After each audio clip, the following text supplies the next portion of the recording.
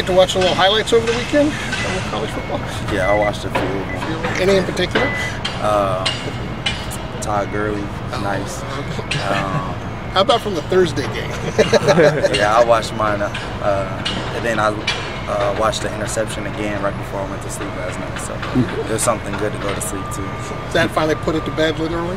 Um, it was put to bed after that night, honestly. But I mean, we had the 24-hour rule, and uh, so I enjoyed it. I had fun with my teammates, and then you couldn't back. resist one more time. I couldn't resist. It was on. I was looking for something football to look at, um, and so I just turned to the Pac-12, and it was on there.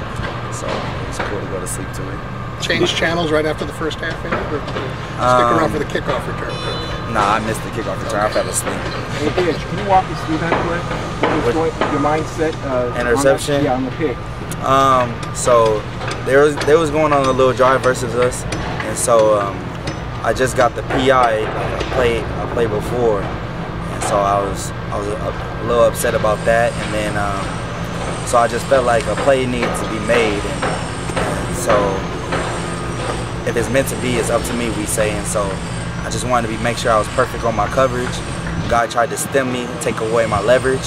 I took it back, and then once when he made his break, I believed it was dig, and so did his quarterback. So um, I, I, stayed committed to it. He changed his to take it to a post, and the ball was already released by the time that happened. So um, just had to catch the ball. Uh, thank God I caught the ball, and uh, uh, I seen the sideline. I was making my way to the sideline, seeing the flow of the elephants uh, going towards the sideline, and um, I seen a wall that my guys uh, it naturally created, and so I just took it back the other way and um, met me down in the end zone. How, how easy does that stuff come together for you when you're when you're a returner? I mean, you've got the whole field. You got to look at everyone. Did it just kind of like highlight in your brain, like you could just see like a line? Like it kind of it kind of just came to me as the vision came. So um, once when the ball came, it just it just seemed so uh, surreal, honestly.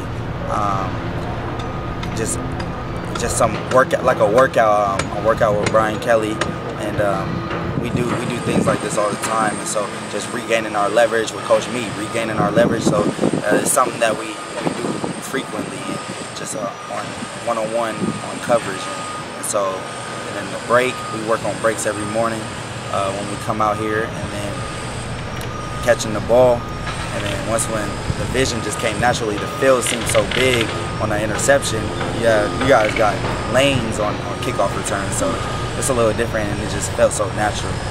Eric said you set it up a little by going right first, but you didn't really set it up. I mean, I mean, not nat- it just set, set it up naturally. Um, I wanted to just get to the nearest sideline, and I was in the middle of the field, so uh, I just took what what the ball gave me. So, um, but then uh, I always remember, especially when we're doing like a kick, like uh, field goal and field goal return or whatever, um, that the all linemen.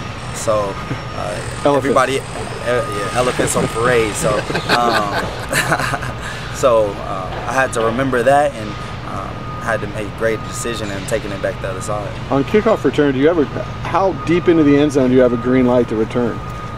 Um, I feel like I always have a green light, but um, no, like five yards is, is is close to the minimum. I think five is go, and then getting towards eight is, is kind of like make a good decision, uh, depending on how clean I catch the ball and um, and also getting a forward lean. It's all about timing. So uh, it gets a little deep once when uh, you have those blocks set up so early on. So. So do you, do you feel like you've been paid back for your your uh, that first touchdown that you scored that was called back? Now now that you have three, um, probably. I mean, I guess we could say that, but four wouldn't be too bad. um, but like I said, um, he really nothing he could have did about that. I don't want to expect him to stop, and, and it, uh, you guys can tease him all you want about it. I don't think he minds it. How, how, frustrating was that? I mean, you had a great game, obviously, but that near interception because that would have been a spectacular play. That you. yeah, I, I, wish I had that one back as well. Um, and I looked at the, the uh, power rankings for the nation, and, and I would have went from 11 to four. So You figured that out. yeah, I, I, I took a little peek. It's, it's about that time, and just to see where we're at. Um, and, and it's cool. It's cool where I am though, so I'm, I'm satisfied. But that would have been a great interception to get, especially because I know I kind of know Bercovici too. So uh, just to tease him. Are you surprised the team still kicked you at this point after all you put on film after the last couple years? I mean, I if they didn't, I would feel like that it would be taking a shot at their own kickoff return team. I mean, at their own kickoff team, and, and I feel like teams have, have confidence in their kickoff cover team uh, that they can uh, they have the ability to stop uh, stop me and and but it's not really me that they need to stop. They need to worry about my blocking, which we have great athletes all over across the board for me, and um, that are committed to um, the kickoff return team as we are on kickoff cover. So it's, it's fantastic that the team that they put together for me. How much do you practice returns compared to that just being instincts? Is it mostly instincts? Mm, we practice returns a lot, um, but But for you especially, like being the return guy. um, like we just, I just, I don't know, it just is what it is. Like we, we work on, I work on some things as far as setting up the blocks for them. That's something that I, I truly try to work on. I seen uh, Devin Hester's last return and how he sets up the blocks very well, and um, that's something that I wanted to take take to my uh, craft as well to get to be able to return touchdowns. Uh, and so that's that's something I really work on. I take notice, and um, and it's, it's very noticeable, especially this last game, just show, showing how the flow of the ball controls the whole the whole uh, defense or the whole um, kickoff cover team, like like the elephants on parade. Do you have a preference between returning punts and returning kickoffs? kind of like returning punts better, but we didn't get a lot of those, and so um, uh, I I had to make a switch turn on for that for that um, that kickoff return. They tried to get me a few times, and um, it almost worked, but not not yet. How come you like Biggest uh, taking back? between returning punts and returning kicks? returning punts, um, it's it's a little less timing. It with the ball in the air and and the, the blocks at the beginning of the line um, gives you the more spacing wise.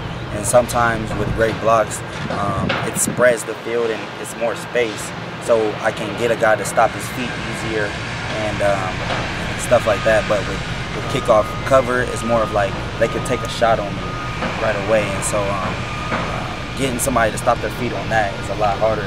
Like you've seen uh, number three shoot on that one when we uh, tried to do that one return, going the opposite way. So that's a little different. It's, it's I feel like kickoff cover, uh, kickoff return is more leaning on your blocks, punt return you can you can more create your blocks. Do you kind of define yourself as a as a defensive back slash kickoff returner now, or is that, or are you still a defensive back who happens to return kicks? I think you guys classify me as that, so I guess I'll take it. Um, I'll take it. But um, it's fun. It's fun being back there returning. Um, I enjoy it, and it's something that I've brought to my craft, and um, it's not it's not too big of a load for me. So uh, I enjoy doing it, and it's not a hassle. So I'll take the defensive back that that came can return. You didn't even start returning kicks last year until kind of the end of it. Yeah. What, what did your coaches miss that whole time? What did they see? Um, uh, I just don't think they knew I could do it. I didn't do it in ki- uh, in high school really, so I didn't expect them to just be like, "Oh, you want to go back there?" Like, and I never brought it to my attention to like, "Oh, I can do this" or anything like that. Um, I was just more focused on last year getting this defensive back spot. We had a great battle, and, and um, I just really wanted to uh, establish myself as a defensive back first. And so um, now that I've done that, it's allowed me to expand my role. Um, but you all, you always want to always want to shoot for what you want to do first before you can bring on other roles to the team. Where did it change? Did the coaches approach you? Did you go to them and say this is something you wanted to do? Um, I think they brought it up in meetings first, and then um, we had a battle for it. So they, they brought it to upon me in meetings uh, with me, Miles, and, and whoever else was back there, and then I took it upon myself to uh, create that role for me. You guys have four defensive touchdowns in four games. Is it? Do you, as a defense, feel like that's sustainable? Like you guys can keep scoring and and helping the offense in that way? You know, I, I definitely do believe um, we can keep doing that. We haven't reached our full potential at all on that defensive side, and um, we're not we're not so worried about um, what you guys say of of how many yards we got put up, but it's something that we do notice and, and we would like to cut down on. But at the end of the day, it's a, it's a, it's all about touchdowns and, and uh, how many touchdowns are getting put up. And so as long as uh, we don't we don't have all these touchdowns in the end zone, um, then we're fine. But we also we do want to reach for uh, better goals. Travis Wilson is such an aggressive quarterback. Occasionally he gets reckless. What are the challenges when, as a defensive back, facing a quarterback who has no fear? Um, doing our job, being in the place where we're supposed to be, um, not forcing plays, and uh, just trusting in our technique. And I feel like every week it's the same thing. As long as we come out here and focus in on what we're supposed to be doing, then uh, the plays will come to us in the game. That's good.